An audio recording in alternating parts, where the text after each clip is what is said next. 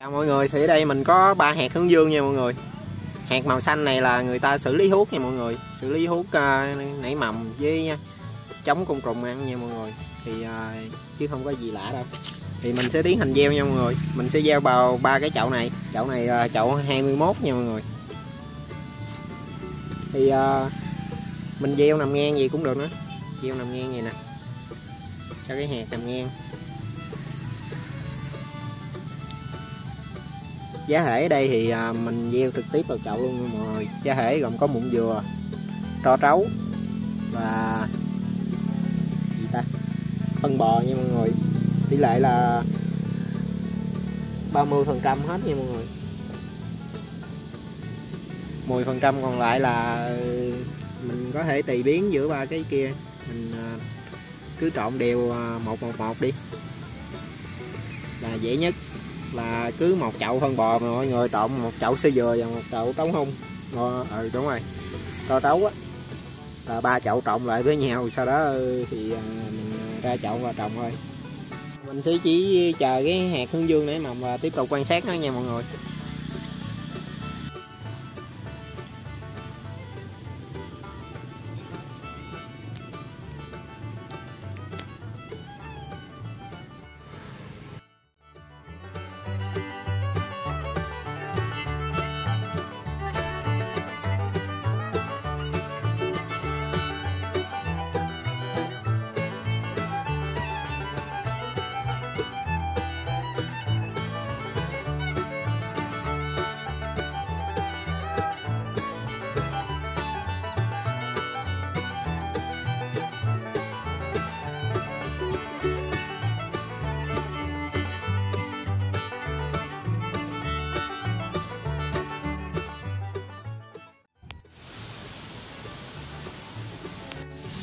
Chào mọi người thì hai cây hướng dương của mình đã xuất hiện nụ rồi nha mọi người.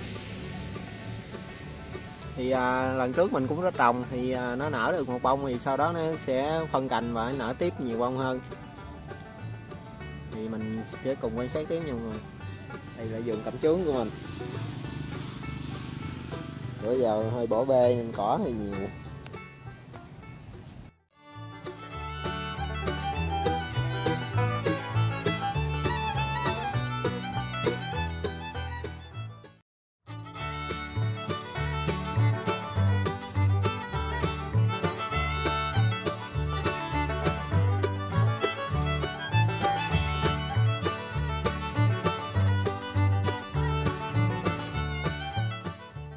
Chào mọi người thì cây hướng dương của mình nó bắt đầu nở rồi nha mọi người. Ở dưới nách lá nó cũng xuất hiện nụ luôn rồi.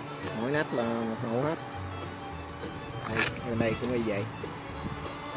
Lá gốc thì nó bị bệnh bị nấm nó vàng nhưng mà hiện tại mình có thuốc để xịt.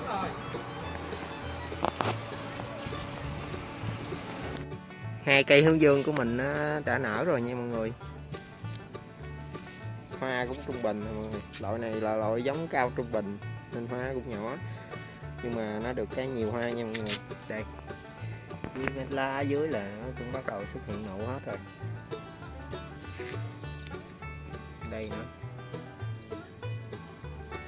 Thì à, mấy lá đó bị vàng vàng nó bị cháy lên bệnh đó mọi người. Mà mình chưa có xịt thuốc được.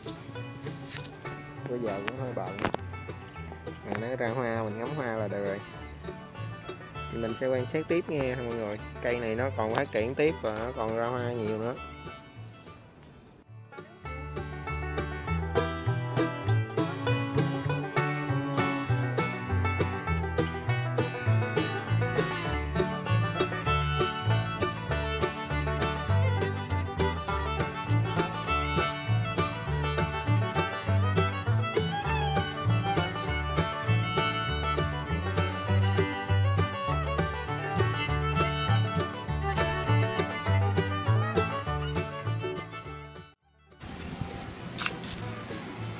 hôm nay hoa hướng dương của mình nó đã tàn luôn rồi mọi người.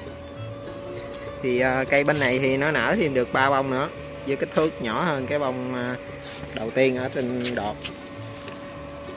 Cũng còn được đó mọi người. Thì uh, mình uh, quan sát tiếp nha mọi người.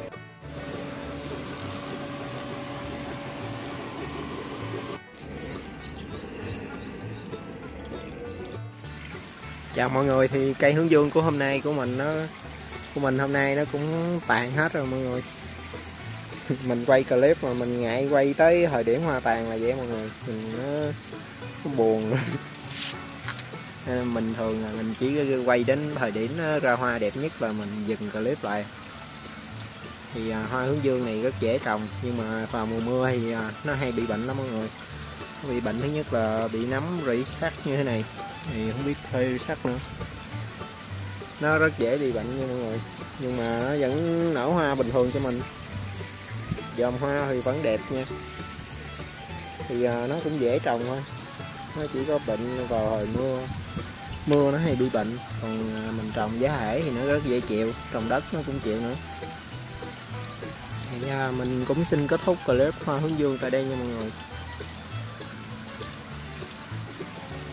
Mong mọi người à, ủng hộ kênh như like subscribe. Để mình ra nhiều video hơn.